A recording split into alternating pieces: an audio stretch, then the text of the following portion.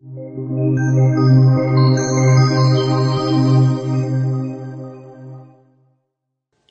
up, everyone? Drew Pickens here. We have a Cydia Tweak review. This one's on Secret Now Playing. You can find this one inside the Cydia store for free. And what this tweak allows you to do is it'll simply give you the option to hide music on the lock screen. So this way, it'll get rid of the actual artist and the artwork as well.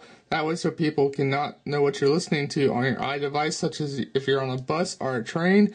Just a really handy way to actually keep your iDevice secret from the music on your lock screen. So let's get a closer look at Secret Now Playing. So you do get a few options within the settings. So if we jump into the settings and then simply scroll down till you find secret now playing. Now inside of here we can actually enable the tweak. Then we can have at clock bar so we can hide the title, hide the artwork. Then we have at media control bar so we can actually hide the title, hide the artist, hide the album, and hide the artwork. I actually have it on.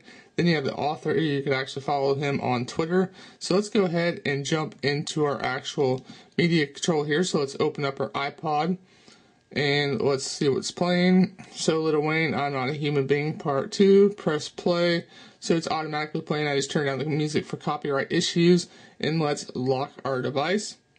And you will actually have to double press the home button for this tweak to actually work. As you see right now, it is working. I'm Not a Human Being Part 2. And if we double tap, 1, 2. And there you go, the actual name of the song and the artist is gone as well as the album artwork. That's pretty much all this one does. It is still playing in the background. It's just a very simple tweak to check out if you don't want anybody to know what you're listening to on your iDevice.